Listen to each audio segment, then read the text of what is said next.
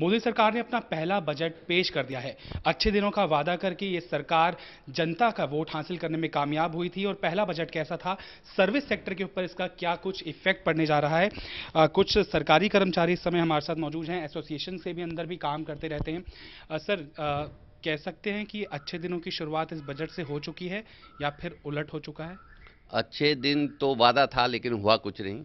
Government employ सिर्फ़ एक उम्मीद करता है साल में वो है इनकम टैक्स रिबेट जो कि मिली नहीं।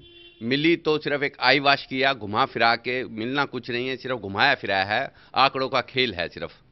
मिलना एज नेट शेल में कुछ नहीं मिलेगा। तो अपर लिमिट तो कम कर दी?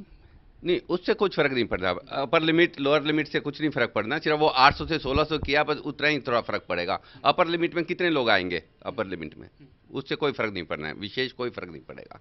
सर कहते हैं कि ये उद्योग पट- पतियों के लिए बजट तैयार किया जाता है। मीडिया में एक दो दिन सुर्खियों बटोरता है बजट और फिर वापस से वही ढर्रे पर लाइफ आ जाती है। इस बजट के बाद आपको लगता है कुछ आपके लाइफस्टाइल में या आपकी इकोनॉमिक मैनेजमेंट में, घर के बजट में कुछ फ़र्क पड़ेगा या फिर जेब कटी है कहीं से? अब हम लोगों की तो सरकारी कर्मचारियों की जेब कटी है।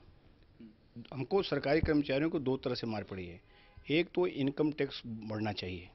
रेंज बढ़ना चाहिए, क्योंकि साल में दो बार डीए मिलते हैं और प्लस एक इंक्रीमेंट मिलता है तो उसी हिसाब से तनख्वाह बढ़ जाती है।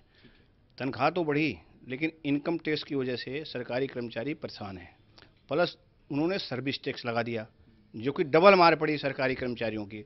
मोदी जी को इसीलिए सरकारी कर्मचारी वोट दिए थे या हिंदुस्तान ने वोट दिया था कि अच्छे दिन का वादा किया था।